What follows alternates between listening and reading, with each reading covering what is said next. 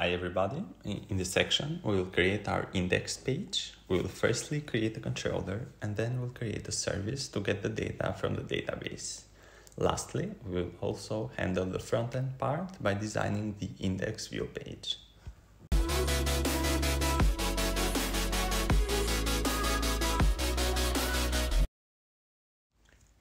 So, firstly, let's just go to the controllers folder and add the controller with views here so that we will have some base methods. Uh, let me just select here the model of listing, the context, and we'll just create it so that we have some uh, boilerplate methods for the CRUD operations. We won't use them exactly. Uh, actually, we will create a service to get the data from the database, but just so that we have some code in the beginning. That's why we're doing it uh, so. Okay, so here we have our controller with the methods. And in this video, we'll handle the index method. So firstly, let me just go to the data folder and add the folder for the services just naming it services. And inside here firstly we need a we will create a service an interface here. So i'm going to add a new item an interface. And i'm naming it i listings service because we will get data for the listings. And here firstly we will just create first select a signature method that we will then implement in the services class so uh, the return type will be of iQueryable of listing and I'm naming the method getAll. So this will implement then in the new file that we'll create that I'm gonna be, okay, so I need to import here the models uh, directory. Then I'm just gonna add a class that I'm going to name listing service where we'll implement this method signature that we wrote there. So I'm just naming it listings service. Click add and here we'll implement the interface that we created, the iListings service. And if we click here, uh, to show the errors, we can click here on implement interface so that this method is implemented somehow.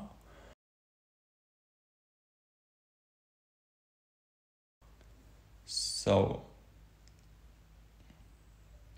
so firstly, let me just uh, modify the getAll method.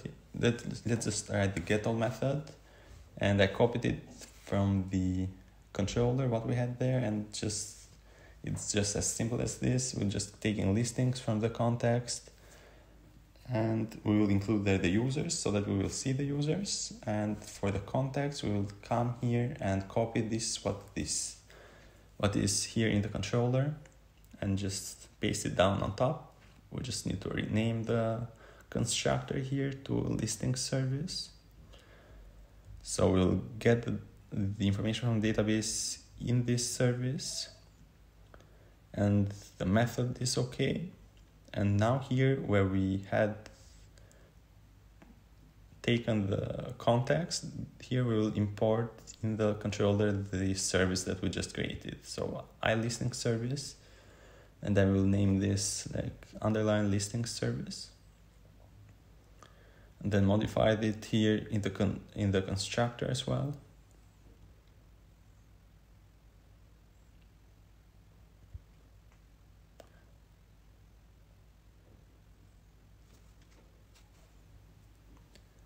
Okay, and what we can do now in the index method here, we will take the method that we created in the service. So here just write underline listing service dot get all, which is the name of the method that we have in this service. And that is basically how we'll get the data for the listings in our index page. I'm gonna need to uh, comment all these other methods below because they are using the context and uh, we now we are just using the service in this controller so it would have a lot of errors if we let them as they are So I'm just commenting out everything uh, except for the index method, which so that we can test it, how it looks like. Now when we go to program.cs, we need to add the service that we created here. So in the services here, the start builder that services that add scope to add as a scoped service and here we'll have to write the name of the interface that we created and the name of the service itself.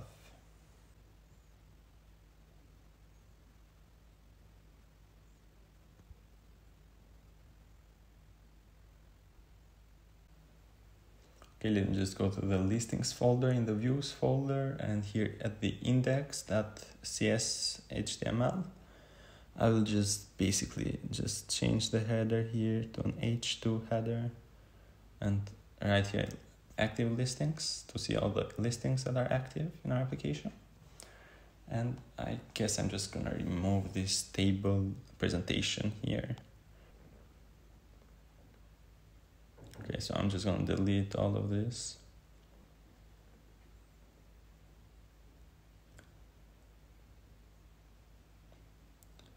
And I'm making a for each loop here to loop through all of the listings that we have. So for each var listing in the model, that is the listings model.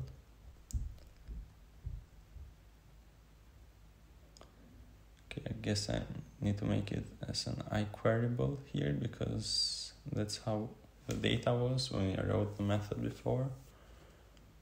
And here I'm gonna have a div container, div of class container to represent all of the objects all of the things in this page. I'm just giving it styling as well, the background color.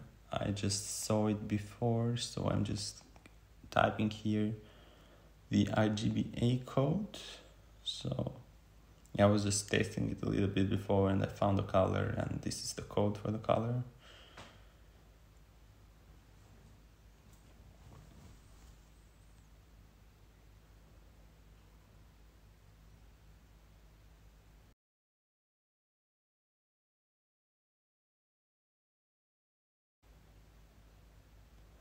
So I'm setting the margin on top to be 50 pixels. And the margin on the bottom to be also 50 pixels. I'm giving it a padding of like 20 pixels.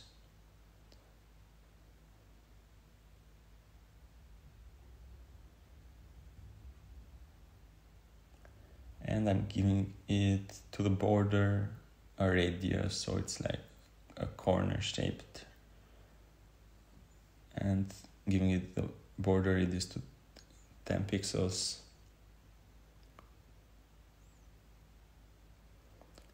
Okay so inside we need another div. Uh, I'm giving it the class of a row which is a bootstrap class and inside of it will uh, have another div with a class of column so that we specify this way we specify how many objects are in a row so we make the class of column and then if the screen is small, the div will take 6 out of 12 imaginary boxes of space, and if the screen is large, the div will take a bit less space.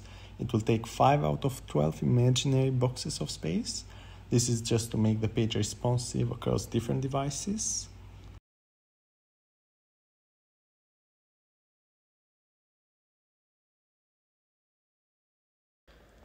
And here in the, oh, we'll write for the images of the listings. Here I'm just uh, making this sign here. We will store the images in a folder that we will create later that will be in the root wwwroot folder.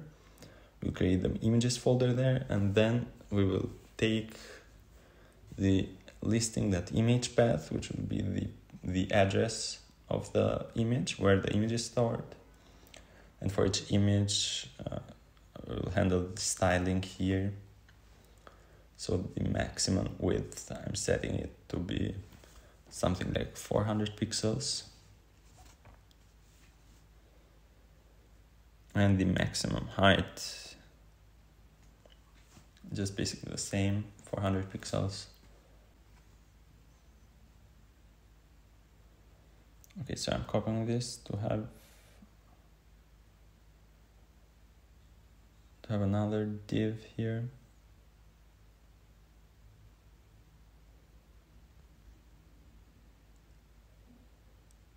This div will be a bit larger. That's how we specified the 7 there. And here we have a h5 header. Inside of it, we'll have an anchor tag, which will redirect us to the details page. And here we specify the route ID to be equal to the models ID.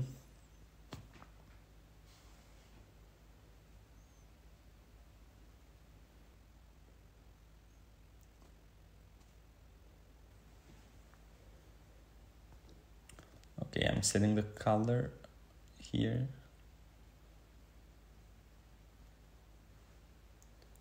The color making it to be uh, black.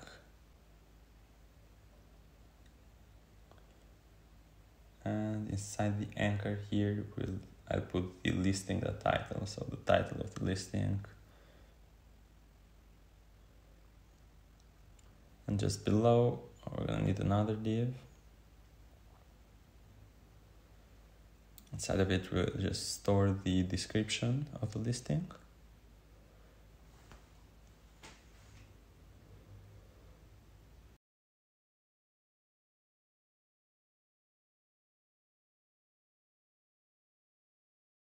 Uh, okay, so firstly here we will need to specify the listing price, which is how much is bidded or needs to be bidded for the listing. And I'm making this toString uh, method here of n2, so there, there are two numbers behind the after the comma. So when a number is 50, it will be displayed like 50 comma 00 dollars. And just below there, uh, we'll just write here who listed the listing so the owner so to say so listing that user dot uh, email but it's the same just like the username i think in our case. Because the user's name we stored as an email actually so yeah. Okay so here i'm gonna make an if clause. And in case there are there is nothing in the model so the model is empty there are no listings in our database i'm just to display it here so that there are no active listings so that's what basically we have to see firstly when we load our application now because we haven't stored anything in the database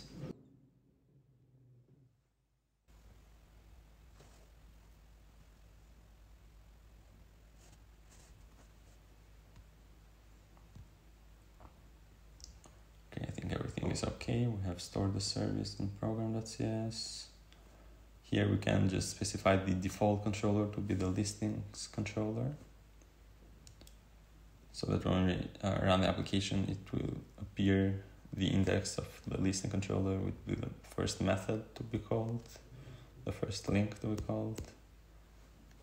And by just running the project now,